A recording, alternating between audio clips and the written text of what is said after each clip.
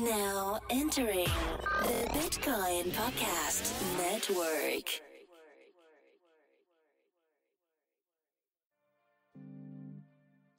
Yeah. Welcome to the Bitcoin Podcast. We in out Bitcoins, we got got 'em. Acquire, never sell. But catch us rolling deep like Adele. Bitcoin, blockchains, cryptocurrencies. Three guys faded talking Bitcoin, no fee. Best of free Bitcoin podcast, insane. And adoption is still the only thing, thing, thing that matters, man. Hey, everybody, welcome to the Bitcoin Podcast, episode 214, coming to you live and in HD. live. I'm your first host, Marcello. And I'm host number two, Dimitrik. And I am host number three, Dr. Corey Petty. Hey yo. What kind of cup is that? What's up, fellas? I feel like you Huh? just kind of, it's like a, is that a disposable cup? Yeah, this is what I drink my coffee out of. Why don't you use regular cups? You're in your apartment. Well, what if I have to, what if I have to go somewhere? What if I'm on the go? Then you could use that, but how often are you on the go in the morning? Especially like when you're doing a podcast. Corey, being on the go is a mind frame, my friend. It's not necessarily 100% physical. So you just, you just make sure that all the peripherals are like reinforcing your mind frame. Yes, exactly. Just in case I'm on the go. Okay. I drink coffee like I'm on Oh. the go. Okay. Like I'm on the go. I know what you're saying. It's a terrible waste of paper because I like how Um, Corey Corey just took a drink in frame just to prove his point. yeah, With my non to go what you cup. should be drinking out of. Yeah, very subtle. Um, Hey, I had a I had a bidet thought, guys, and you're gonna think that it's ridiculous, but if you think about it, it might be interesting. So, um, just this one of a bidet thought. yeah. So, um, do you like Guardians of the Galaxy movies? I'm a fan, yeah. Yeah. So the director of those films has been fired. Yeah, for some stupid shit he said, like child porn and all kinds of stuff. Yeah, 10 years ago. So I was thinking, like, what if someone like Brian Armstrong said, or maybe he did like a Papa John where he said the N word during a conference call, or he sent a bad tweet 10 years ago and got pushed out of his company. What would that mean for this space? If someone who's in a prominent role in the space did something, had a lapse of judgment and did something dumb, and they weren't able to continue to be a pioneer in the space, like that, that could be real. There's so many I don't Yeah. know. Vitalik said something pretty terrible last year, and he's given a pass on it. So what did he say last year? Um, he he said that like drug dealing arguably does more physical harm than child pornography because like child pornographers just sit at home on their desktops and don't do anything to a person. And I was like, oh, it's a pretty bad tweet. It's pretty public. But it's almost then, like you shouldn't you shouldn't even give your thoughts on anything other than Ethereum when you're in, the, in that position of power. Like, don't give us your Um, commentary on politics or drugs or So nothing. just don't be a human whenever you get put into power. Just don't be a It's- human. It's you're not almost supposed to be human. You're supposed to be everybody's human, and that makes you any Mm, human. I disagree. Well, that's the way it works, man. That's why politicians go kooky because they spend so much time trying to be everybody, and then they go, then they become nobody. It's deep. They become a. what would we do though if like a, a prominent developer like said something and then they and then oh well because isn't there like just a handful of people that can like uh improve sharding or improve the lightning network you know what i mean like what happens Mhm. what happens if like elizabeth stark said something eight years ago and oh well now we don't have her expertise in the space anymore somebody would take her place? There's one thing I know in life, and that's everybody can be replaced. That's a that's a dark thing to know in life. No, I mean that's true. Like it doesn't matter. Somebody would take her. Temp, somebody would take her spot. Somebody would be the new Elizabeth Stark. But I'm- well i mean someone's gonna direct guardians of the galaxy 3 but arguably it's gonna be different in tone than the first two and maybe in quality True. well, maybe they should get what's his name on the hotline and not tell anybody and just make it just like the first two, so it stays successful. I see what you're saying though. Like, I mean, I, I guarantee it's like, say, you know, something happened to Vitalik and he lost all of his, I guess, credentials somehow or some forth, or was shunned from the community. You could be damn sure Ethereum and all of its coins would drop in price because even though he has no like technical control over Ethereum, he has a lot of social control over Ethereum, and people idolize him. Yeah. So let, let's say that that tweet that Vitalik said last year. Let's just say Ethereum, the community isn't to where uh, somebody could report that tweet and he can get fired. But when this becomes super mainstream, like eight years from now, what if someone dug up that tweet and then, you know, I don't know. So It's- I dumb, was thinking about that. digging It's, up it's retarded. I don't. I Hmm. don't. I like. I would like. I don't mind if people are human and they do human things, which is like fallible and make mistakes. It's them trying to like hide the fact or deny it after they've done it. If they own up to it and be like, "Yeah, sorry, I learned from it. It was a mistake," then cool, we can move on. But if people consistently basically just say that didn't happen, despite irrefutable evidence that it happened, or they try and save face or pretend like it wasn't that big of a deal, then you can maybe treat them accordingly. But like, man, everybody's weird. Let them be Yeah. weird. Um, That was I'm trying to find the tweet. I'm trying to find the tweet. So, but it's, it's uh, somebody who's better with the internet could probably find it. But Vitalik did. My say keyboard is, is way too loud to be typing. Oh, you can hear all the typing stuff. Would you like me to type something just so you can hear it? It's a mechanical keyboard. My my, my keyboard, mine's not mechanical. There you go. What's wrong with my mouth? My keyboard's not mechanical.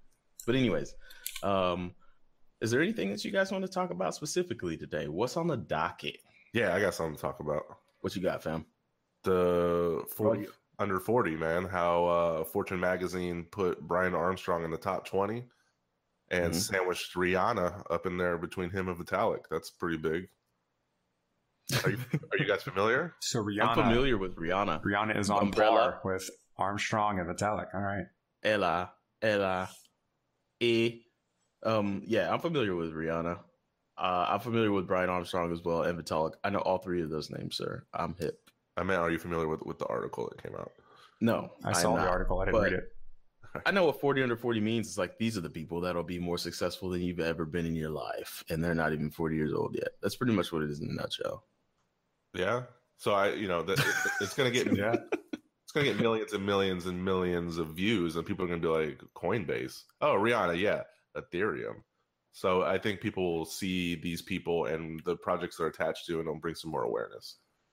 I mean, yeah, it probably will. I think mass adoption is a matter of urge, though, and a matter of like want. Um, it's just a matter of want. Like, if you want the information, you'll seek it out. If you don't, then you won't. And I think Corey's world is the most re- real world where most of these GPPs, these general purpose ass people, they're not going to know they're using crypto.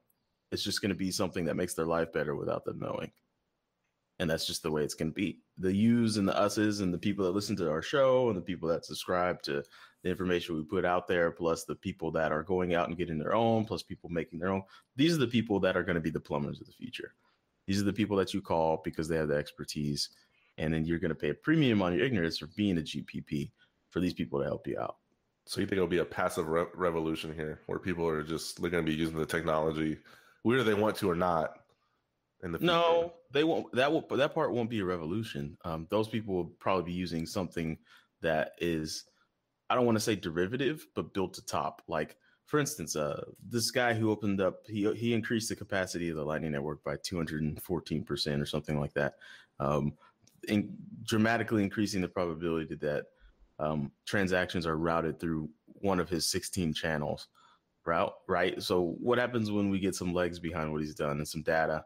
and he makes a good about a good bit of revenue, then you might see places like Coinbase open up these giant nodes, or you know other centralized centralized places open up these giant nodes. So to to to help the functionality of that network, so the GPPs get all the benefits but not know what's happening in the background, right? So I got a few things. Yeah, um, for the most part, I think that's the way that it's going to go. At least in countries like, that we live in, like first world countries. We don't we don't need the, the You can't say that. That's offensive. no. I don't give a shit. It's fine. Uh, Zero world. eh, they don't like people who need the infrastructure that don't have banking services need what these technologies can offer right now.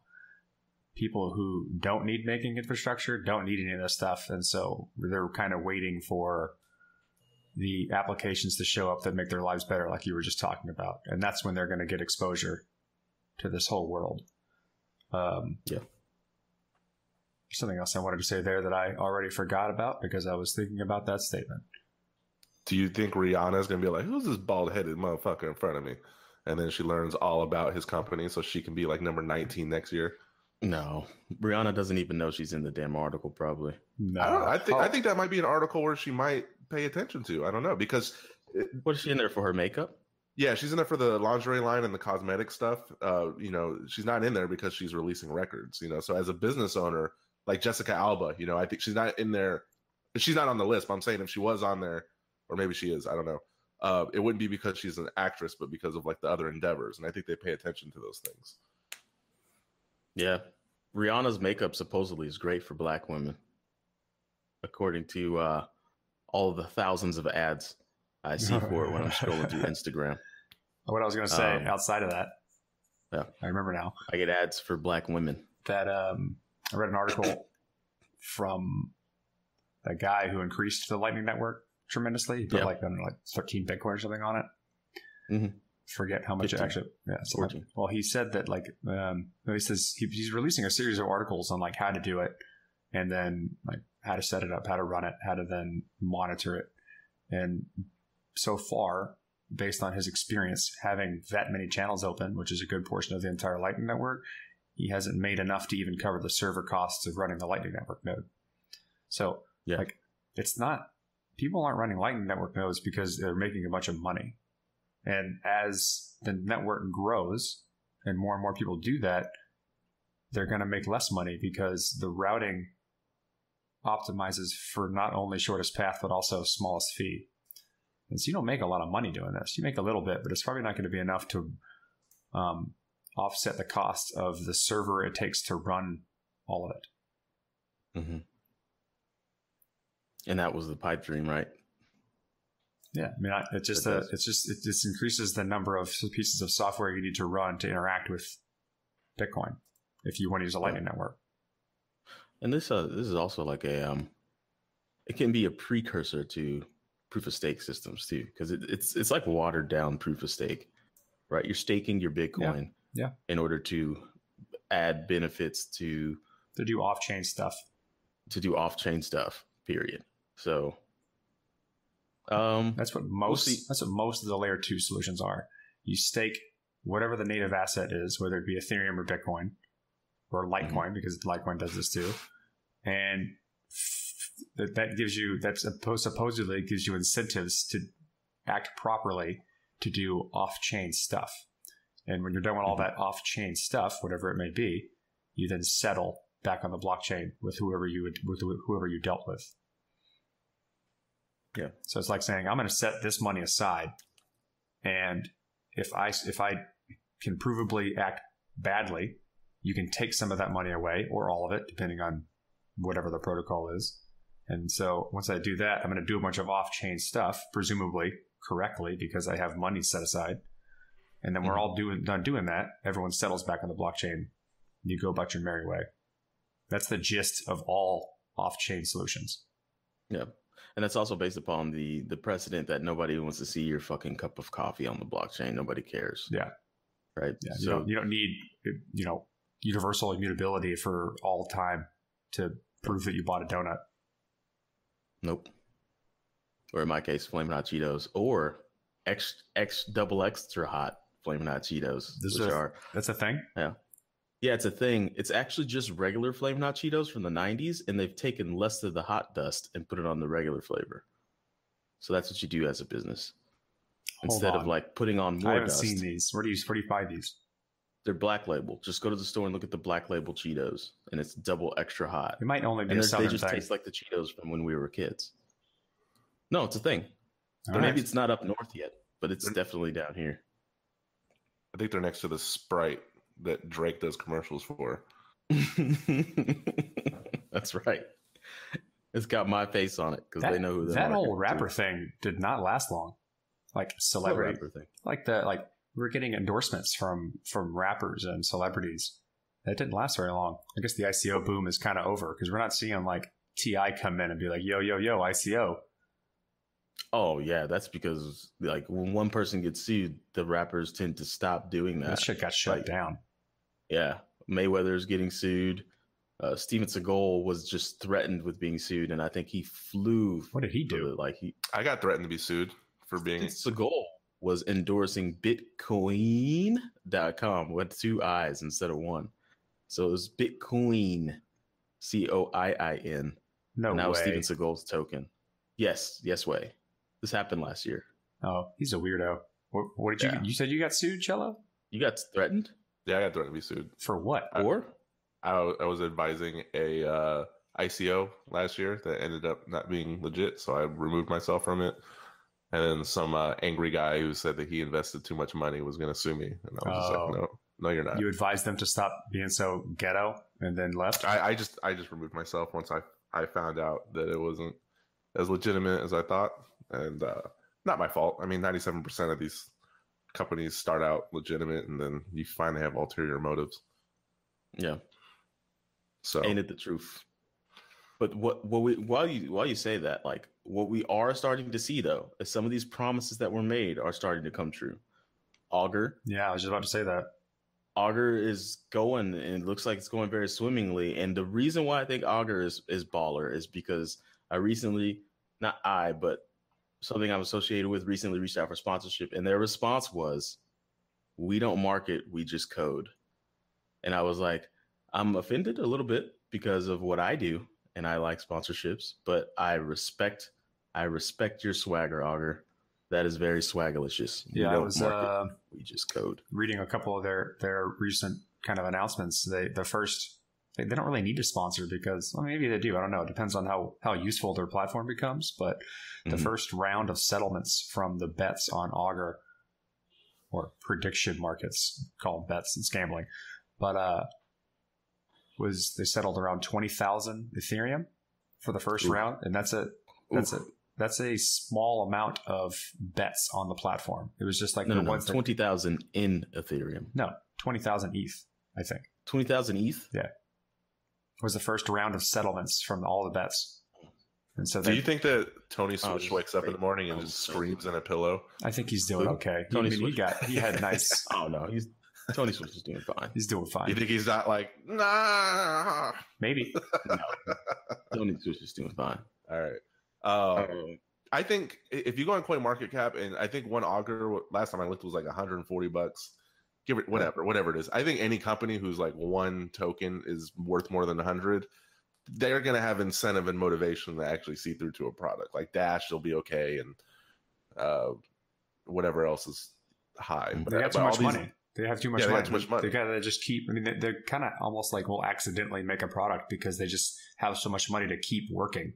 It's just gonna probably be slow. accidentally make a product. you know what I mean? Like if you just keep moving in the right direction, regardless of how slow it may be or how bad you are at it, you're gonna make something. Yeah, like That's uh, very true. like Zcash. I mean, you're almost at two hundred dollars a token. You're, there's probably going to be something there. Yeah, well, Zcash, you don't need much more There's than a lot. privacy. They're they're not. They they're pushing zero knowledge cryptography. Yeah, I mean, You will it's- by- by- by- not, they're not pushing it in, ter- in terms of trying to sell it. They're pushing the boundaries of how they work. And a lot of the money that goes into Zcash is going into funding that that research into further furthering applied cryptography. That's why I like it No so doubt. much. no doubt. Zero knowledge proofs are going to help a lot of things. Dash is. Dash is, is pushing the research on how fast can you buy a Lamborghini and put a decal on it that says Dash on it. Yeah, Dash is a marketing uh, marketing experiment. Yeah. that's what it is. There's nothing really novel there. What's, Yeah. what's crazy is we almost had Stephen Baldwin on the show on behalf of Dash, and now he's Justin Bieber's father-in-law. Oh, what? How do you? Are you that just crazy? like do you- it is bananas, but how do you know magazines that? magazines are you reading? Yeah, I, what's going on there? I mean, when the most popular twenty-something gets engaged, it's kind of hard to you, you just bat away the headlines, even if you don't want to read them. They're kind of Oh yeah, I did see him kissing on some lady on a lake, and I was like, oh, I guess Justin Bieber's being Justin Bieber. And then You got to give him some credit for being um, having like a modicum of sanity at this point in his life. yeah, I remember seeing his original videos on YouTube when he was a kid singing in the camera. Could you imagine being that popular as a kid? Um, I was in high school. Know what I'm saying? No, I'm just. But like, Um, whenever we see like, oh, you know, Vitalik's gonna have a nervous break, like, come on, man, he he doesn't have like one one thousandth of like a Justin Bieber stressful day. You know what I'm saying? Yeah, but he's Not also even- not, not like a little bit. singing in front of adoring like w- girls who are, are passing out because he walked by them. You think that's the stressful part? I don't know, man. Like in order to perform, like I guess you still have to like. I think that's the part that's not stressful. Yeah, but Yeah. it's like it's the it's the it's the demand to perform at all times, and then to be like this person. You can't be a human, like we were talking about earlier. You're not allowed Yeah. to be a human anymore. You have to be a superhuman, and people aren't fucking superheroes. Yeah. Yeah, I think Elon Musk is having a little Twitter like mental breakdown as of. I don't, I don't follow it too close, but people are saying he needs to like down. he needs to put the Twitter down for a little bit. Yeah. He needs to just take. He needs to go on vacation. Like he's trying too hard. He's a try hard. He's He's, been- trying way too hard. He's hard. going to try hard his whole life. It's just you don't try to change the world. You just do stuff, and hopefully the world agrees that what you did is awesome. He's he's setting out to change the world, which only ends terribly. Like he just needs to relax. I don't he know. Just needs Like to, even if even if you just stop now, I'd say he's made significant progress towards changing the world in the right direction. Yeah, that's very true. He needs he needs to stop. He needs to pull a what's the name like when people it go out on a victory, like end with the cha- like Wayne Gretzky, right? Didn't he end with a championship? He was like, "Hey, I'm out. I'm I won. I'm out. No, do it till you crash and burn. Live long enough to be the villain." Yeah, That's everybody's story. Like, The only person who's ever successfully done that, I think, is Floyd Mayweather. Everybody else, they, they get L's, L's, L's until they retire, and they're like, damn it. yeah, he bought into the to the villain. he's a heel. Yeah, he's a heel by nature. Yeah. Anyway, uh, Let's go on ahead and push the interview out so we could get to the second half of this roundtable. Corey, were you going to say something? I interrupted you. Your mouth was like open while I started talking. you did exactly what I was going to do. Good job. Okay. Uh, so we got an interview here from Dan uh, Boneh, uh, Dr. Dan Boneh. Cello, you were just waiting for me to. No, that was a pause. That was a little pause between. Dan Dan Boneh. Uh, he um, is a professor. He's, he's been studying, uh, not studying, uh, lecturing, and being a straight up bouse in the the discipline of cryptography for some time. And um, he, like the rest of us that are so infatuated with this space, uh, caught word of cryptocurrency, and the rest is history. And now he is the director of uh, the Blockchain Research Institute uh, at Stanford. And if you don't know what Stanford is, get cultured uh, because it's a big fucking deal. Um, it's a university over out on the West Coast. I believe it's a private university too. I've actually been on that campus, and it is bananas how much money flows into that school. But um, yeah, uh, we we had him on to talk about his research. We had him on to talk about the institute. Um, he's been biddle. Is it biddle biddle or biddle? I don't know what that word is. Build, but with the D. They switched the D. There's two camps on Oh, that. that. Yes, I think it's whatever. biddle. Go ahead. Anyways, we're that's we should stop doing those dumb things. But anyways, he's a builder, and uh yeah, Corey and I sat down and we had a cup of coffee and uh, a bagel and chatted with him in a coffee shop. Does he own crypto? Do people do people that uh like study security and talk about cybersecurity and the future of cryptography, do they own any, you think? I You'd imagine so, I but now hope it's getting so. to a point where I it's hope so. not. If they're that deep in, they know where this is going, and they probably own something. Something. Well, because I know I mean there's two people attached to this network that don't have any and they're They're evangelists and advocates. Yeah, but they do. Yeah. They just don't have like a tremendous amount relative to their net worth. Mhm. They're not like Everybody should own some crypto bags, at this right? point. they just have some and they Hashtag- hold on to it. Hashtag not investment advice. Buy some crypto. Uh, I I gave some uh, some investment advice when Coinbase added those tokens. I was like, you should buy those tokens. This is investment advice. straight up. There's Like, no way around it. this, this is investment advice. Sue me if you want to. Come at me, dog. Uh, Please don't sue us. Yeah, please don't. Yeah, Corey, I could see that. Like your, I could see the fear in your eyes when Cello just let it. I didn't know that he was threatened to be sued, but you were like, "What? when did this happen?" Um. Anyways, uh, here's the interview with Dr. Dan Boneh. Um, we hope you enjoy it. Here it is. Hello, hello.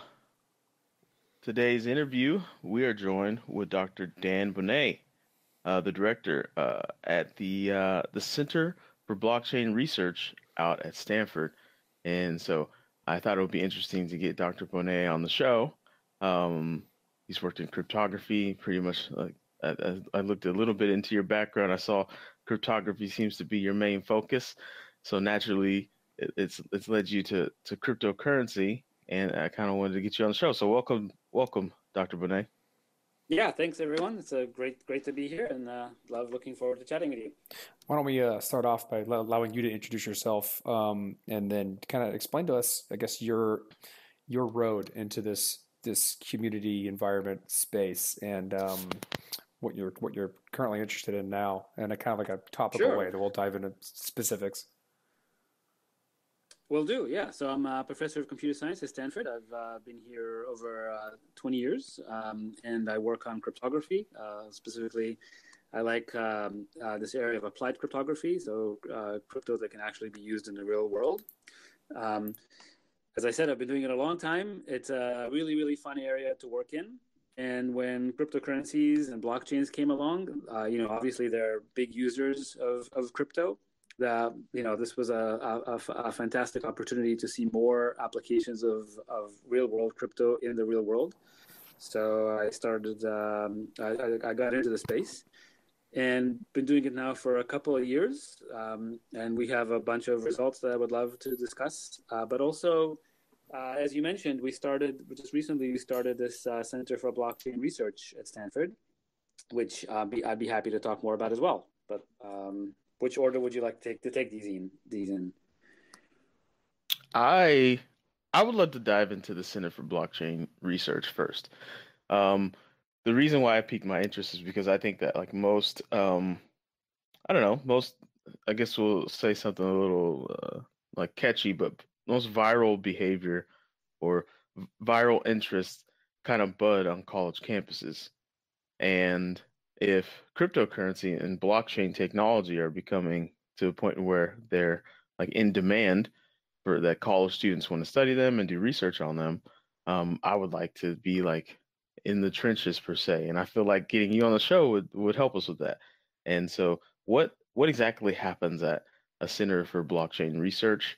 Um, what does that mean for the students? So- Yeah, that's a good, question. Yeah, well, we do blockchain research, so I can tell you uh, what happened here is um, I I really like the, the the blockchain space as a research area. Um, I have to say, I think it uh, it suffers from a little bit of uh, over overhype. But if you fundamentally look at blockchains, um, there's a lot of scientific problems that need to be solved, and th- that's what really attracts me to the space: the science, the core science problems that uh, blockchain uh, blockchains ra- raise. There are lots of questions that we simply wouldn't have asked if it wasn't for blockchains, and many of our papers in the area, I have to say, you know, we would not have written if it wasn't for the scientific questions that blockchains that come from blockchains. So what what attracted me to the space um, really is kind of the heart, the deep science that's uh, that's being raised here. And you know, just to be specific, um, as I said, there are like new questions in cryptography that that uh, uh, are uh, being raised by blockchains. I guess we'll talk about those in just a minute. Um, there are questions about uh, programming languages. You know, what are the right languages for using um, for programming smart contracts? We're doing work on that. There's questions on uh, new techniques for verification um, of consensus protocols of smart contracts. Um, questions questions around game theory that has to do have to do with economics and such uh, of the blockchain, and of course, questions about uh, legal aspects. You know, spanning the whole gamut of is it a security, is it a, com- a commodity, um, and so on. So it's a it's a really really broad area of topics. All of those are being studied in this uh, center. So we have faculty kind of working in all these areas. Um, my, my, as I said, my main area is applications of uh, cryptography, but you know I'm fascinated with programming languages and how do we write uh, how do we write these um, distributed applications in a way that are easy to reason about and easy to um, to verify the resulting code. So we, are doing a number of projects in that space. Um, so as I said, the kind of the center uh, brings all this activity together. We, before the center, uh, the different faculty kind of were working independently of one another um, the center kind of uh, brings all this activity together. Uh, so there's tremendous excitement. We really, um, uh, really, really uh, thrilled to be to to have launched this. Um, I think it's going to have a lot of impact on the ecosystem. Our goal is to develop technology that uh, the ecosystem can use. Um, I really love talking to projects uh, that deal with blockchains. Um, literally, every project I talk to I walk away with new research problems to think about. Even you know, just this morning I was talking to uh, a project, a new project that just started, and already I have three new research problems to think about. Um, you know, I have to say this is kind of rare. That yeah, uh, that uh, you know the rate of ideas that are being generated um, is not something not not something that happens every day. And for us, this is a godsend because you know we're always looking for good problems to work on, and these new projects are phenomenal at, at generating uh, problems for us to think about. Um, so each one of these, you know, that leads to a to a research paper that we write, and the hope is that the, the community adopts the the you know the research that comes out of the center, um, and so that's our goal. We're basically a resource for the community. So if anyone is listening out there and they have an interesting blockchain project that has interesting technical problems um, that they would like to solve, please come talk to us, and we would be we would be thrilled to help. I I probably need to talk to you. But anyway. yeah.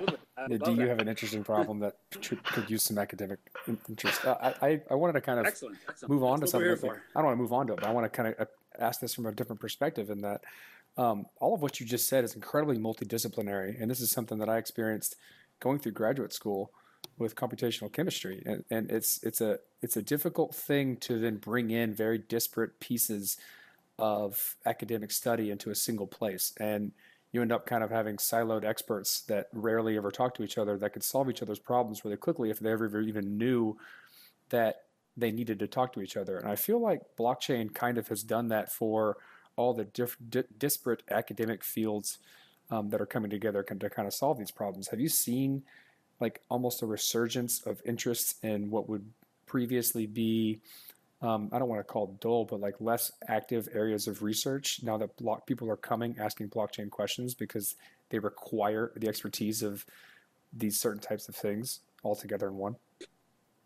Yeah, so what it's doing is bringing people together. Yeah, so being bringing researchers uh, together to work in this in this area. The way we do that is through like very active outreach uh, programs. Uh, so, for example, we started a new blockchain seminar on campus um, and so, you know, there are people who come to the seminar from all over campus. Um, these are people who don't, as you say, don't normally, don't usually uh, speak to one another because they work in their own silos. Um, and this kind of brings them all together uh, to discuss to discuss these, these, these problems. We also have a number of courses on blockchains. Um, so our uh, our course, our, our, our main course, uh, you know, blockchain technologies is called CS251. This is the third year we will be teaching this course. Um, it's kind of interesting that attendance in the course sort of um, mirrors the price of Bitcoin. So mm, yeah, we get the I'm, I'm thing. hoping the you know the, the as, as we head into the fall and we teach the course, I'm hoping there'll be a recovery so that we'll have we have um, you know a lot of a lot of students coming. Although I, I, think the area is popular enough that there's no no no uh, shortage of students who want to who want to participate in the space. Um, so yeah, but definitely the, the we I, I, see a lot of different people from different communities who don't normally talk to one another uh, come together. Um, a good example of that is uh, one of the center faculty, Joe Grundfest, is a professor in the law school.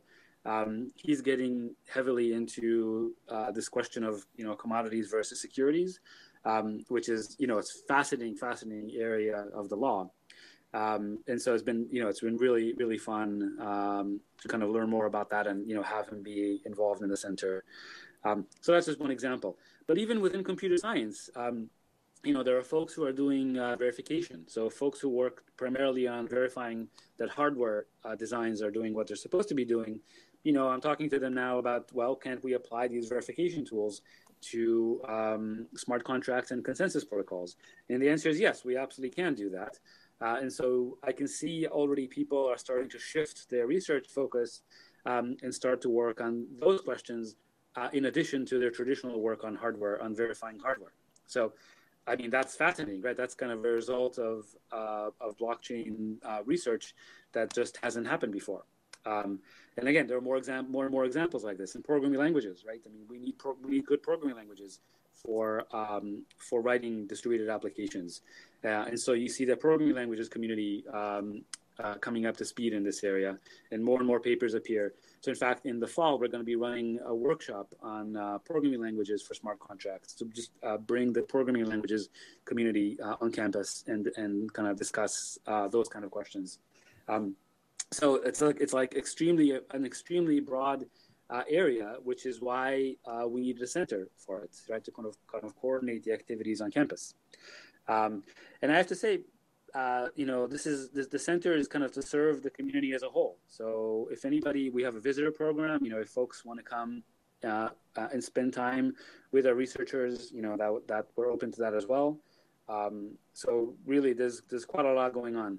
In terms of uh, our outreach activities, as I said, we're creating a lot of educational programs um, to help both novices and experts in the field um, learn more. Uh, so we're going to be running uh, workshops for people who just want to learn about blockchains and what they're for, and those are all open to the public. Uh, folks are very welcome to attend, um, and then we're going to be running research pro- research workshops um, as well for people who are more more advanced. One thing I should uh, mention is uh, we're running the third uh, Stanford Blockchain Conference in January, and the call for papers just went out. So if any of your audience uh, members has good ideas that you'd like to present at the conference, you know, please submit them to the conference. Uh, there'll be a program committee that selects the program, and we'd you know, we would love to have your uh, project be presented at our Stanford Blockchain Conference. Um, yeah, so to learn more about all this, um, you know, please go to the center's website, uh, cbr.stanford.edu. CBR stands for Center for Blockchain Research. So cbr.stanford.edu. You know, please submit uh, papers and ideas to the blockchain conference, and uh, you know we would love to see you here in January. So, long answer to uh, to your question. Great. Thank you, though. And you heard it here, audience. If you want to submit your papers, go there, please, the, and put do in the that. show notes for sure. So I guess we can kind of turn it a little bit and and talk about some of your like maybe your personal research or you said just this morning there's three problems you want to dive into. So so obviously, you know, you're actually a quote unquote builder in this space. And so I guess like what's something more recently that you've looked into that you'd like to kind of discuss or bring up or um maybe even the, newer problems that you want to you don't want to dive into when it comes to application of blockchain and building these distributed applications? Yeah, absolutely, absolutely. I'd, I'd, I'd love to. So, um, uh, pretty much like as I said, every project that we talk to, we walk away with new research problems to work on. So we love talking to new projects. You know, so please, please come see us. Um, let's see. So, um, I one thing I'd like to mention is um, some recent work that we did on uh, proof systems. This is a proof system called Bulletproofs. Um, it's joint work with my uh, student Benedikt Buenz and um, uh, the folks from uh, Blockstream, Greg Maxwell, Andrew Poelstra, and uh, Pieter Wuille. And what bulletproofs let you do uh, are basically uh, very, very short zero knowledge proofs. Yeah. So, yeah, anything that you need to prove in zero knowledge can be done using these bulletproofs um, and without having to rely on any trusted setup. So people, when people think about zero knowledge, they uh, often think about snarks and such.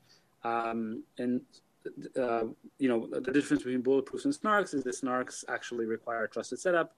Uh, bulletproofs can do it without. Um, the downside of bulletproofs compared to snarks is that verifying uh, a bulletproof takes longer than verifying a snark. But in terms of size, uh, bulletproofs are actually quite short.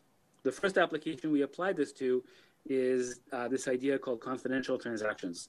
Um, so in confidential transactions, uh, basically the amount that's being transferred from payer to payee is um, remains hidden. So even though the data is on the blockchain, uh, you cannot tell how much, how many bitcoins, for example, if you're applying it to Bitcoin, were transferred from the payer to the payee. Uh, today, if you look at the Bitcoin blockchain, you can see exactly uh, how much was transferred, which makes basically the Bitcoin blockchain somewhat unfriendly to business, right? If I'm a, let's say, you know, I'm a car manufacturer and I want to buy tires from my supplier, if I wanted to pay them in Bitcoin, everybody would see how much, you know, how much uh, I, I'm paying my supplier for the tires that I'm buying from them, which is sort of what not what businesses want to want to do. So you'd like to keep uh, the amounts public. It's maybe it's okay to reveal that I'm buying tires from a particular sup- supplier, but uh, the amounts should not be available to the public. And so the question is how to do that. Uh, and so the the idea is uh, essentially to write commitments to the amounts to the blockchain rather than the amounts in the clear. And then the problem is if since the amounts are not available in the clear, how do you verify that, transa- that a transaction is valid? Namely, how do you verify that the sum of the input amounts is equal to the sum of the output amounts? Right. That's what that's what defines uh, a, a, validity of a transaction. But now the amounts are hidden. So how do you do that? And so the idea is to use zero knowledge for this, where essentially we post a zero knowledge proof into the transaction, and then anyone can verify that the transaction is valid without actually knowing what the amounts are. So I hope that's clear. Let me know if I need to go into to explain that more. But I, hope I can. Uh, let me take a stab at it. So instead of posting the amounts, you just post a proof, and then you can take that proof and then verify that the amounts were there. But it only needs to be proven between the two parties that actually did the transaction.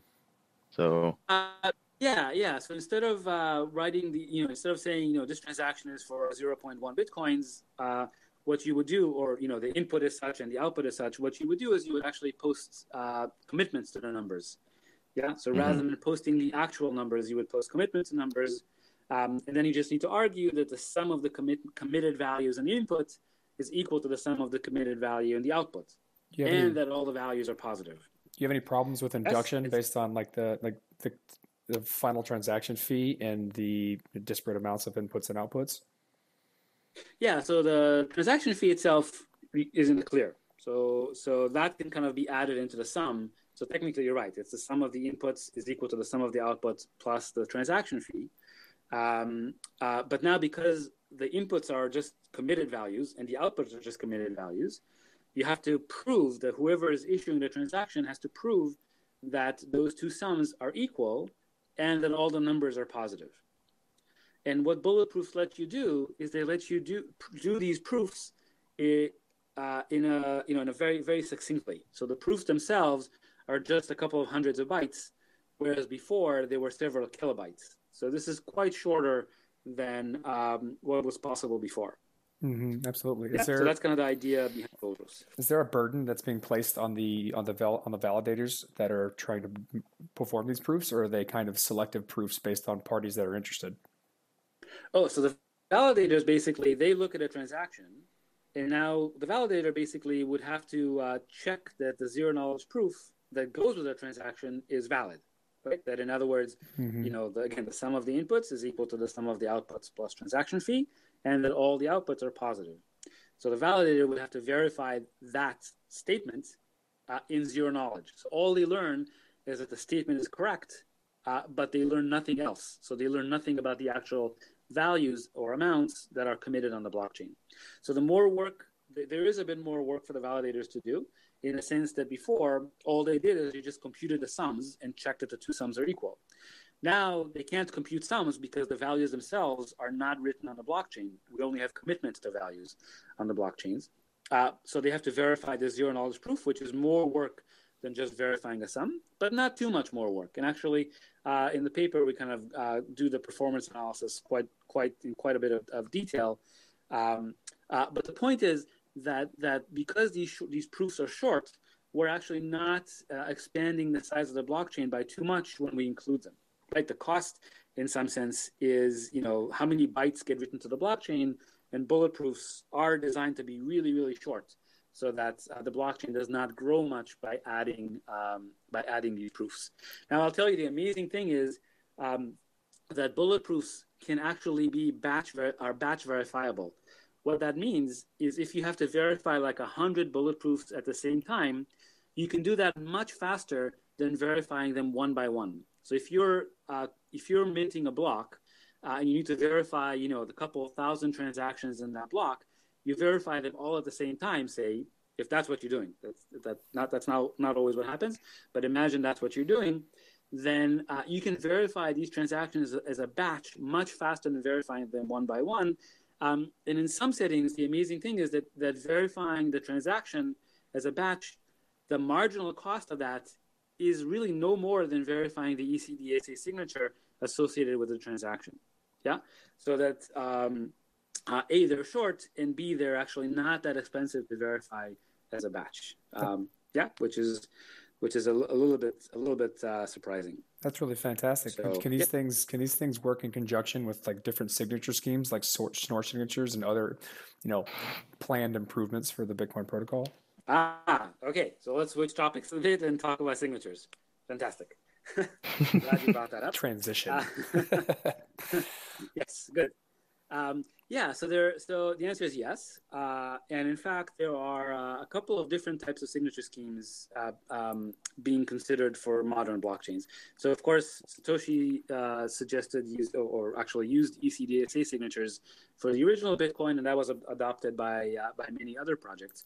Um, I have to say, ECDSA are uh, fine signatures from a security point of view, but they do have some some problems with them. And for example, if you wanted to do um, a threshold mechanism, so if you wanted to do um, you wanted to distribute the key so that multiple people would be needed uh, in order to generate an ECDSA signature, they're not that easy to thresholdize.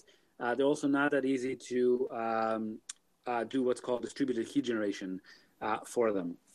And so um, uh, Schnorr signatures. Uh, oh, uh, sorry. Then the last thing is um, uh, they're not that easy to aggregate. So aggregate means aggregating a signature means that if you have uh, multiple signatures, sorry, if you have multiple signed messages, uh, you would like to actually uh, combine all the signatures on those messages into one short, succinct signature. Yeah. So, for example, maybe I have 10 messages that are signed by 10 different people. It'd be kind of nice if I can take those 10 signatures and compress them into a single signature that would authenticate all 10 messages. With ECDSA, that's actually uh, somewhat difficult to do. Um, with Schnorr signatures, this is easier to do, but interestingly, it requires uh, a protocol between the signers. Yeah, so you can aggregate Schnorr signatures um, into a shorter signature, but that requires actually some interaction between uh, between the signers. Um, uh, yeah, and in fact, there's actually beautiful work out of Blockstream that shows that shows uh, how to do that for Schnorr signatures. So one thing that we've been working on is um, another type of signatures that, that's very applicable to the blockchain. These are called BLS signatures. Um, so BLS signatures are based on slightly different math than Schnorr signatures. They're based on what are called uh, pairings. Um, so, for example, um, Zcash uses Mhm. uses pairings for their for their snarks. So anyone who uses snarks uh, today typically uses um, uses pairings, uh, and these pairings can also be used to derive very efficient or very um, uh, or properties. Sorry, signatures with with interesting properties. These are called BLS signatures. Um, and what they provide is a mechan- is a way for uh, aggregating signatures very very easily. So uh, imagine you have a block of transactions, and each transaction has um, a signature by a different signer on it. Interestingly, with BLS signatures, you can actually take all those signatures, uh, and in fact, anyone can compress all those signatures into a single signature. Yeah, so let me say that again. So if you have a block of, say, a thousand transactions, um, and uh, normally you would have to keep like, you know, at a minimum, a thousand signatures, one signature, say, uh, per transaction. Uh, with BLS signatures, what you can do is you can take those thousand signatures, you know, one signature per, per transaction, and aggregate all those signatures into a single signature that can then be posted on the block. Yeah, if that's what you wanted to do. And in Hmm. fact, anyone can do it. These signatures are publicly aggregatable. Uh, yeah, so it's just a very just a basic multiplication. You take all the signatures that you had and you just multiply them all together. That's it. Um, yeah, uh, yeah, and then one simple signature can then authenticate the entire block. And like if for I guess to, to bring that back to high level, what this is doing is increase is incredibly increasing the efficiency of how much we can fit into a blockchain while not compromising on any of the security features that we currently have. Is that a good I guess maybe I mean there's a lot of other th- cool things that we can do in terms of like cryptographic systems and sending messages from a group of people to another group of people, but I think would you say the majority of the push for this types of research is increasing the efficiency of putting data in a blockchain? That's exactly right. Yes, that, that is what you said. That's exactly a, a great way to describe it. You can basically, um, because you're not spending so much space on signatures, you can put more transactions into a block without increasing the size of the block. Yeah, that's exa- that's exactly right. Okay, I just wanted to kind of like put a Um, high level high level cap because some of our audience won't be able to follow some of that, and I want to make sure that they get the reason for the development of these types of things. And it's it's important to note that you're not compromising on any of the actual underlying principles of like why people got into blockchain in the first place. This is just brand new cryptography that allows for efficiency gains. Yeah, that's. Uh, thank you. That's exactly that's exactly the way to say it. um, right. Um, good. I mean, I, I so I- I'm happy to discuss these uh, th- these more, but um, um, hmm I guess the toughest part seems like this is all open source. It seems so. I guess it's always. I guess I'll be the Debbie Downer. It always sucks if you do all this great research and make these advancements, but the open source community just doesn't grab a hold of it. And that's something that that's something that I've like been delicately fearful of for the past three years in this industry is because I feel like there's a lot of advancements that are made and people like yourself doing amazing research, but it may not be hitting the echo chambers of Twitter or wherever these uh, messages need to be heard um, for you know it to, to to be adopted. So that's not really a question. I Yeah. was just talking. Yeah, for, thanks for bringing that, bringing that up. That, that's a really good. That's a really good point. So, by the way, I have to say most of the work that we do is uh, is all open source available. So, Bulletproofs is there's an open source implementation on the Bulletproofs website for BLS signatures. Uh, there are a lot of open source libraries that implement uh, Bulletproof uh, BLS signatures. Um, yeah, DFINITY, for example, they they put out uh, a BLS signature library that's actually really really good. So, if anybody wants to use BLS signatures, you know, check out the DFINITY implementation. Oh yeah. Um, uh, I, I guess um, I guess uh, when it comes to deployment of open source idea, let me let me share with you the one frustration that I had, um, which is uh, some work that we did a while ago uh, on what are called uh, proofs of proofs of solvency. Um, so what is a what is a proof of solvency? Well, it's basically a way for an exchange uh, to prove that it's uh, solvent. Yeah. So what does that mean? Um, so think back to the days of Mt. Gox, right? So with Mt. Gox, uh, people gave them their their their coins, and then basically the coins were were lost. Yeah, to put it to put it simply. Um, Mhm. And so the exchange basically became non-solvent, but nobody knew that until it was too late. So what would be really cool is if there's a way for an exchange to, you know, because they collect, you know, coins from folks, it would be really nice if there was a way for the exchange to prove that it still has enough assets to cover all of its obligations. So it has obligations to each one of its customers, and it has corresponding assets on the blockchain to cover those obligations. So what a proof of solvency does is basically proves that the sum of the obligations is uh, less than or equal to the sum of the assets. Right? Make sense? That's a proof of Mhm. solvency. and by the way, I guess there's a more there's a generalization of proof of solvency called a, called a proof of reserve, where instead of proving that the obligations are less or than or equal to the assets, you prove that um, you know you have like a 10% reserve.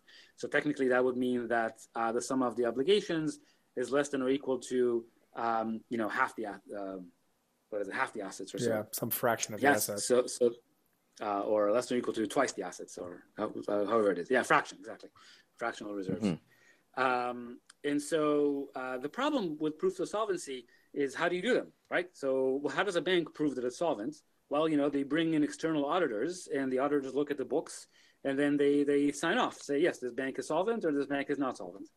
Uh, and you can so it's a very expensive process. You can only do it once a year. It's a it's a very manual, manually driven process, um, and so on.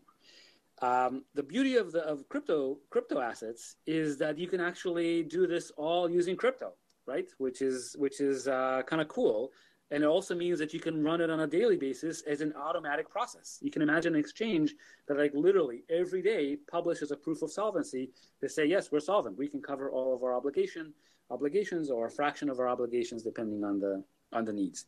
The problem is um, the kind of the technical uh, challenge for us was how do you do it without actually revealing what the obligations are to the public or revealing the assets to the public right the last thing an exchange would want to do is is is uh, reveal to the world how many customers it has and exactly which ask which how, what are the obligations to each one of its customers are. Those are kind of business sensitive data. Well so enter uh, zero knowledge one more time. And what we can do is we can have the uh, exchange prove in zero knowledge that the you know the sum of all of its obligations are greater than or equal to say than uh, the sum of all of its uh, assets without revealing what the obligations are and without revealing what the assets are yeah so there's really no mm-hmm. loss in privacy for proving that these uh, these exchanges are solvent uh, so the question then is uh, how long does it take to generate the proofs and how big are these proofs and how long does it take to verify them well, so here's where bulletproofs are useful again. So with bulletproofs, we can actually give uh, a proof of solvency for a large exchange, an exchange that has several mil- million users, and the proof of solvency, its size is only a few megabytes. That's it. Yeah. So essentially, a large exchange with a couple of million users, all we're asking you to do is every day, you know, publish a few megabytes, and that's your proof of solvency. And then anyone can go and check that uh, the exchange is still solvent. Yeah. So, mm. And, and, and there's no reason why you can't do that uh, publicly. I have a question on um, this.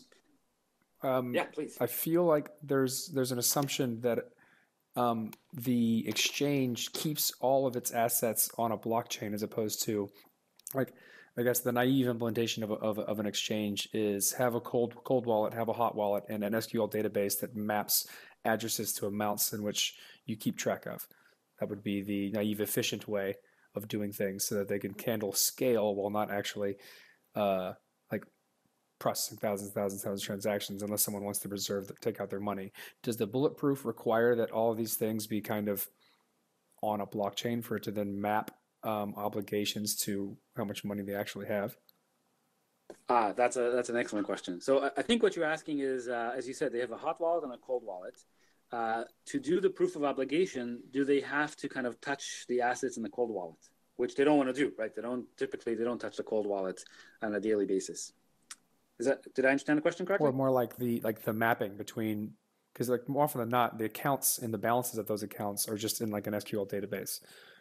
Does that kind of off blockchain record keeping have a problem with bulletproofs?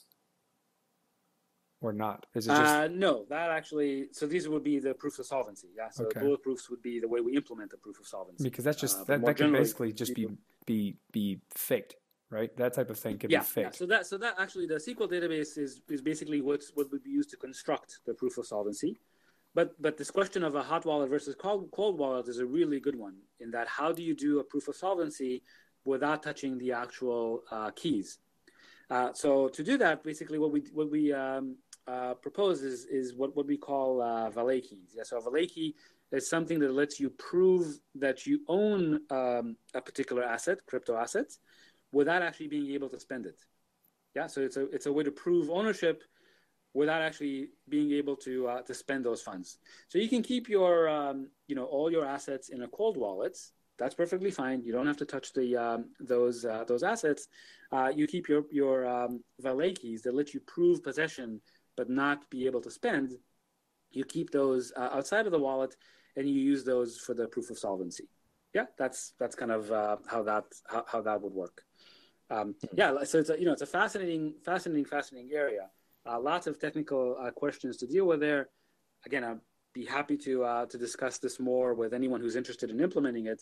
Maybe I can talk a little bit about our deployment efforts there. Yeah, please so, do. Uh, we, yeah, so we, we we talked to a, a number of exchanges and you know everybody's very interested in a proof of in doing these proofs of solvency but um, i guess you know they have a million features that they need to implement. And so it's just a matter of priority. Where where do you where do you um, put the proof of solvency in the priority list? And so far so far no one has really stepped up uh, to put it on a high enough as a high enough priority to actually uh, be implemented. So we're kind of still waiting for uh, some exchange to um, adopt this and actually be the first one to actually deploy an online proof of solvency. I think once one exchange does it, the market would kind of have to, um, uh, you know, to uh, to um, um, adjust, and everyone would have to, and, and many other exchanges would have to do it. It would probably make, you know, would give more confidence in in, in the exchanges, and so probably a good thing to do. Uh, but somebody has to step step up to be the first one to deploy this. And so, you know, again, if your listeners are interested in uh, being the guinea pigs, then uh, maybe guinea pig is not the, the best word best word to describe it, but if someone is interested in the first one in deploying something like this, you know, they would have a significant market advantage, it seems. Um, and so, you know, again, we'd be happy to to to help uh, with whatever technical questions come up. I have another technical um, question that I think any exchange would obviously have, and that is, um, is there a risk associated with, de- with, with deploying this in terms of like do they need to move all of their cash, say from their cold wallet to a different cold wallet that enables these types of these valet keys, or is it something you can derive from the previous keys? Ah, um, yeah. So that that's something that I guess is specific to how the cold storage is implemented. So I guess the, there's no generic. I wish I could give you a generic answer, okay. but now we're getting into like implementation details. Yeah that uh, would be probably different for every er, for every exchange. I would just um, assume that yeah, most exchanges those, are reluctant to move money if, to move money if they don't have to, right? So like uh, the, the, the vast storage is you know kept in safekeeping, and they want to minimize access to that type of stuff. So a lot of the improvements they make is stuff that doesn't involve that money, and this type of improvement may or may not involve that money, which then I guess maybe knocks it down on the priority list. And so them knowing whether or not they can do that would then give them a if they don't have to move it, they can derive these keys from previous keys without having to move that money. There's less risk associated with that type of thing, which means they're may more mm-hmm. maybe more likely to do it, and they were just ignorant of the fact that they could do it that way. Yeah, so that, that's a good that's that's a good question. So in principle, you could do it without. So you're asking whether you actually have to issue a transaction in order to generate a valet key, mm-hmm. um, and the answer to that is uh, potentially no. Um, but again, it would depend on the specific implementation. There's no there's no fundamental reason why you would have to issue a transaction, uh, but it would depend on the specific implementation. Yeah.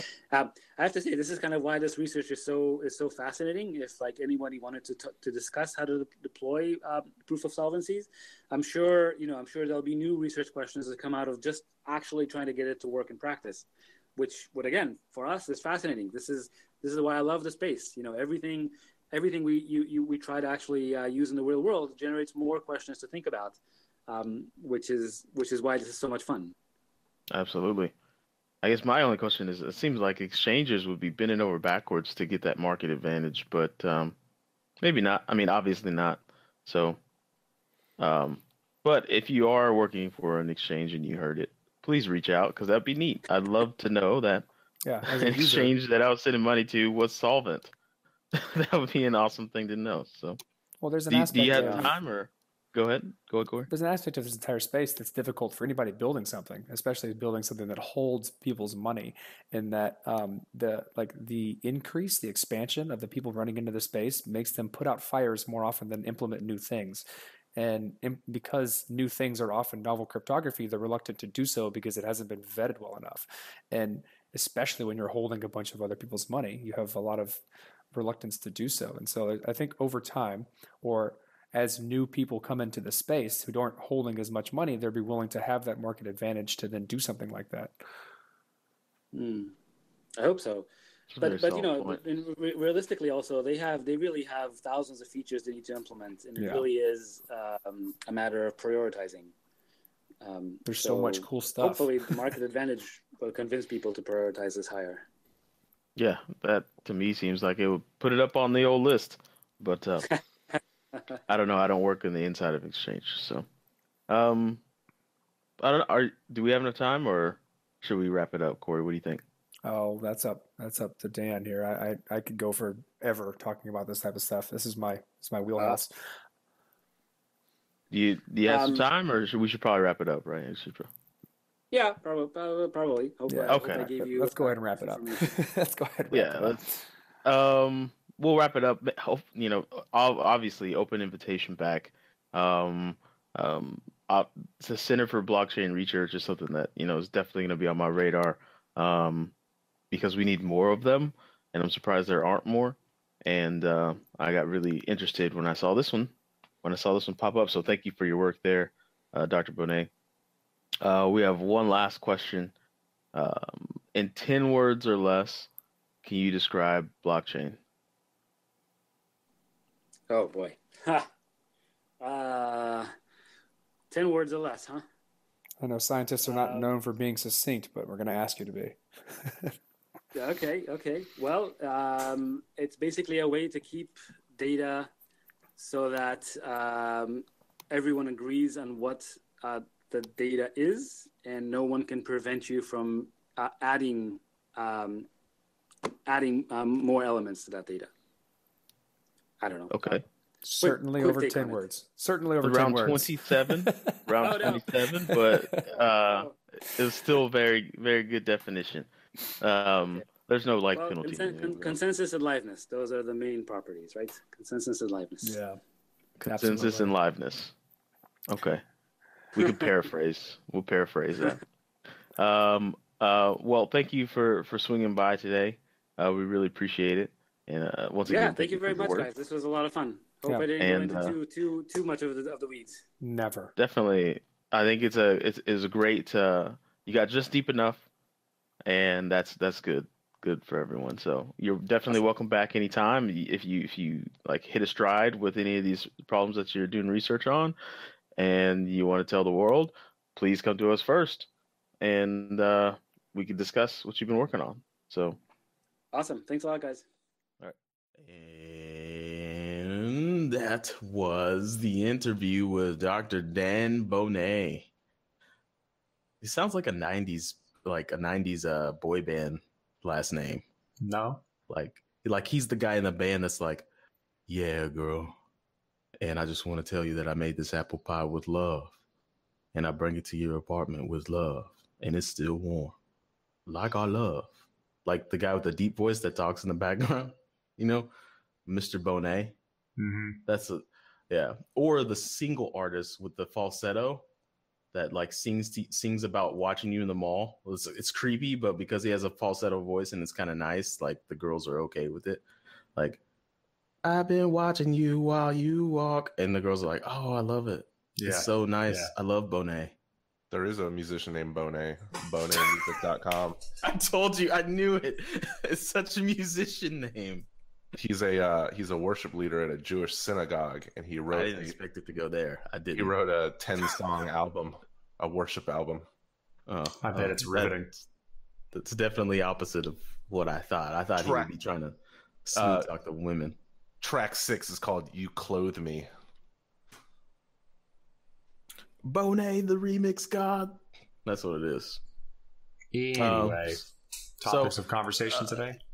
Yeah, yeah, yeah. So, what I think is interesting um, is ever since I started just the headers, it- one, it's starting to get a little deja vu because the articles don't change their tone, and there's not really interesting stuff that the mainstream news cares about. So I'm going to try to add some more stuff to the RSS feeds that come in um, just because it seems like price or regulators say this or regulators say that regulators don't say this or they don't say that um, but the thing that i worry about right is or not worry about but if that's all the mainstream news is covering then that's pretty much all retail investors ever get to see.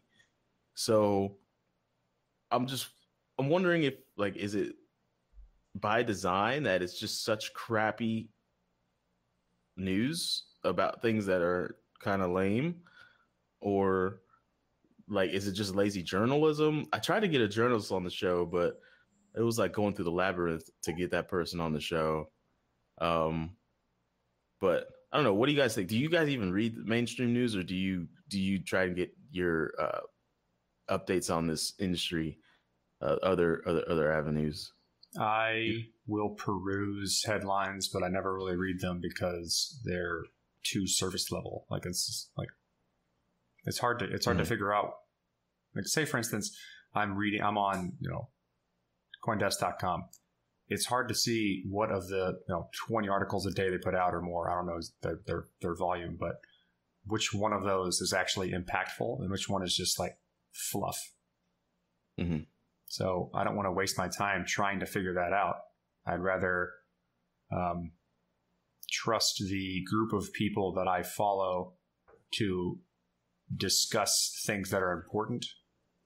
I- I've spent a lot of time curating a community to follow so that the things that they talk about and the communities that I'm involved with will bring up issues that I need to know about. And I can I can then use that as a springboard to go learn more. Mm-hmm. I think What about uh, you, Joe?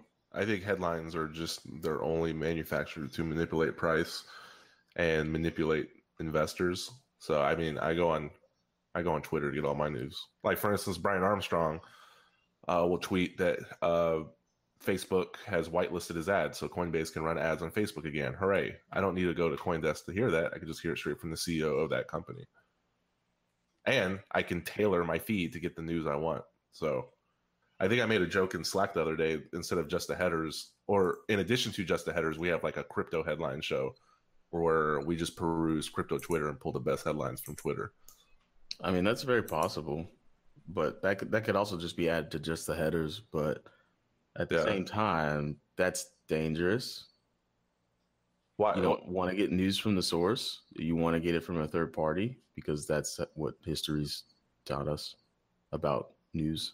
I mean, but when when you get news filtered through like PR firms and all that, you're going to run into the same problems you're running into.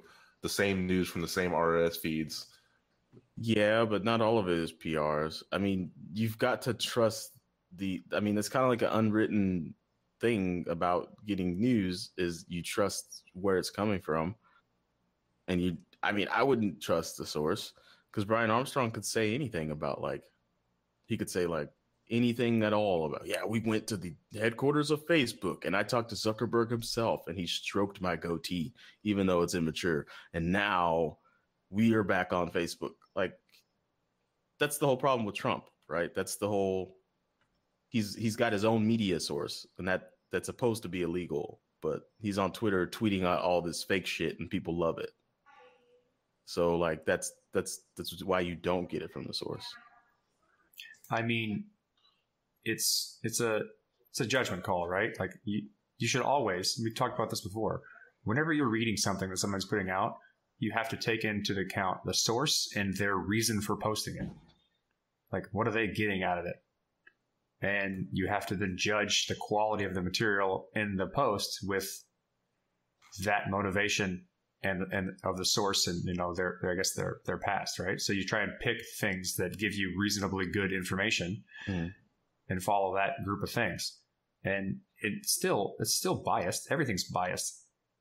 Like there's no I don't Yeah. think there's such a thing as good cryptocurrency journalism. Like objective big J journalism. I don't think that exists. So you have to Mhm. read everything that you see with a lens of why they're posting it and the motivation behind it. And have to make your own judgment on what do they stand to gain. Like I don't believe anything Ver says because he has a history of saying things that aren't true to then benefit himself. Mm-hmm. But if he says things, I'm going to look for, and that that may catch my eye. I'll look for that topic in the objective places I know to go to find out more about it. But I'm not going to take his word. He may be a springboard for me to find out more of things that may interest me. Well, you can use a real world example. When when McAfee said that his wallet was the be all end all, you're like, why don't you send it to me and I'll I'll try to back up that statement.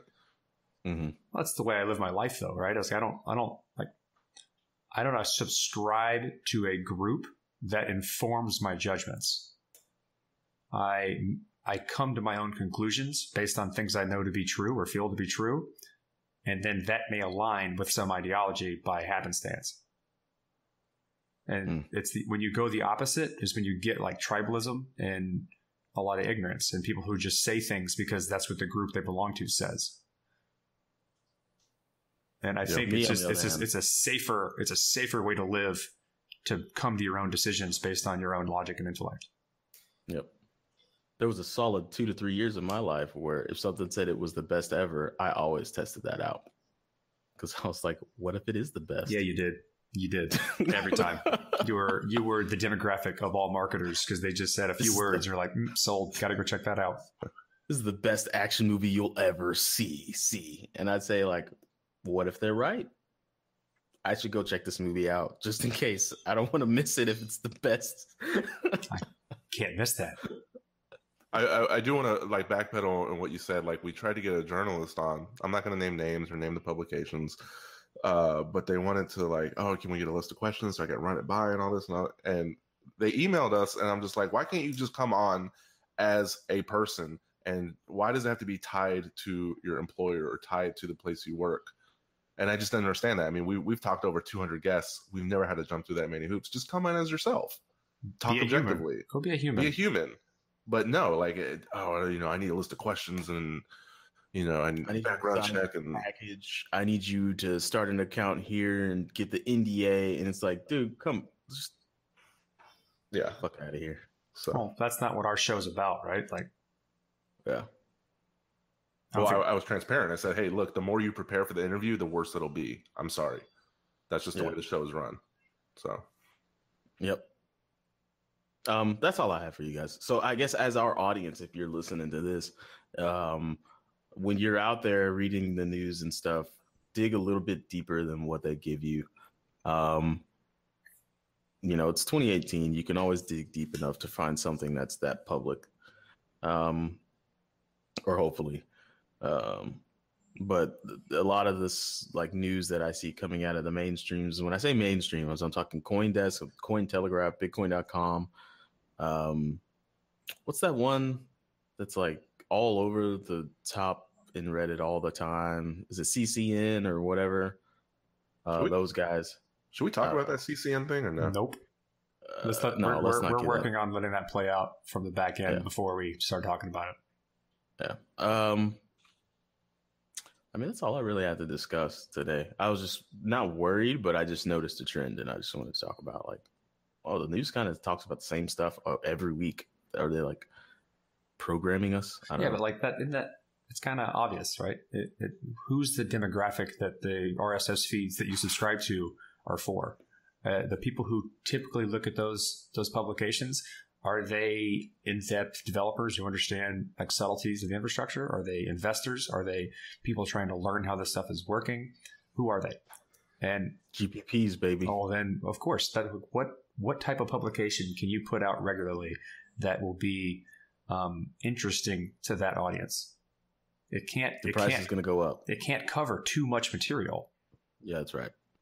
If someone took a week in Ethereum and built out a technical, high level hashing it out website where it had like no ulterior motives, only high level headlines about progress in the community, there's not one out like that, by the way. So if anybody who's not lazy wants to do that, I you don't can give me five percent yeah, of your profits. If there is, please let us know. We'd love to be. Yeah. We'd love to like watch it because the the the amount of quality curated material coming from Week in Ethereum from Evan is fantastic. Like I can tell that there's Well, a lot of work that goes into it. Thompson on there. yeah, he's doing good, Yeah. but it's not it's not at the level of of the amount of work going into that that newsletter. John, he's Yeah. doing good, but it's not it's not there yet. Like I'm happy he's a part of it. I'm happy we have one, Yeah. but I don't know The if I call it level of detail of curated- contribution to the publication. yeah, I would say like a real website where you can go get high level news and all that. well, that takes a Um, team, right? You need like people to do all that type of stuff. It's it's Teamwork it's, makes the dream work. Oh, It's easy for one person to make a newsletter because there isn't a lot of like peripheral development slash administration, whatever. Like none of, not one of us could have done this podcast and everything around it. It took all three of us to do it. hmm I would love to see a tag team between uh Vitalik, Armstrong, and Rihanna. I'd love Hold to see on. what that looks like. A sexual tag team? Yeah, No, no. that's what it Come came on, out. man. It came out that way. That's what it sounded Yeah, like. that's that's where my Really? brain went. Yeah. What What I are didn't you think it talking sounded about that way then? at all? We were talking about teamwork, make the dream work, and you were talking about like different people bringing different stuff to the table. And I was like, man, I wonder if those three forty under 40 people that we talked about to keep the thread of continuity going. Um, but I you think guys took we'll- it sexual. I think and we'll that end on shows your you guys' perversion. level of maturity. So, We're done, Um, we're done here. I mean, yeah, we have to be done now because you guys just offended everyone. So uh let's let's wrap this up. Um I just know something. Cello, what why do you have an Oakley case?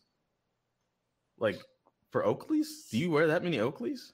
No, it's it's a case for uh other stuff. It's I'm just gonna take the branding off of it. Oh, okay. Work in progress. Your office is way cooler than mine. I'm looking at it.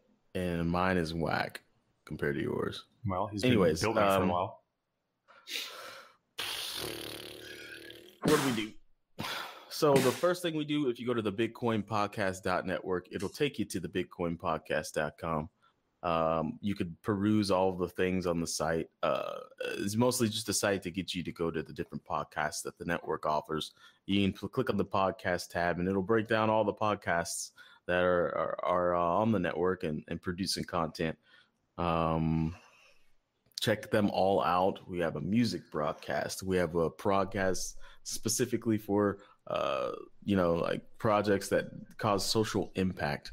Um, there's a podcast for the headlines. There's podcasts for deep technical dives that you don't get anywhere else. Hashing it out is in a league of its own. Corey, do you feel good about that? Being in a league of your own? I'm enjoying doing it. Yeah, I mean, it's A sure. league of, like, uh, do you feel like uh, the movie A League of Their Own? No. I wouldn't think you would. Uh, what else? What else do we do? Uh, you can join the Slack if you if you go to the BitcoinPodcast.network. Um, we're in there. Uh, one of the recent Slack members said I have to give you guys credit because you guys have been doing this for like two, three years strong. Uh, the Slack is two years old, I think. The Slack is two years old. Yeah. He said, and you guys are always in here dedicating your time every day. If anybody has a question, if anybody just wants to shoot the shit, you're here. Other crypto groups fade. And you know why they fade? Because they only give a shit about the price. Um, speaking of which, how about that price? Uh, but let's not talk about that.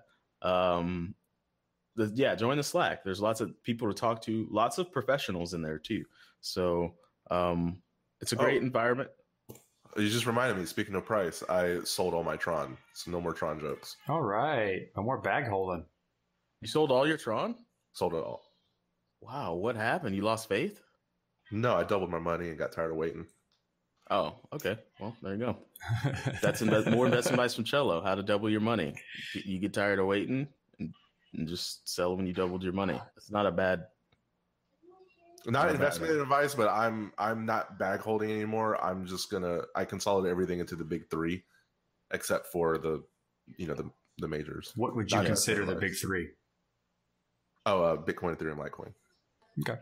Uh, as long as uh, Bitcoin controls the market and all that, I mean, what's the point?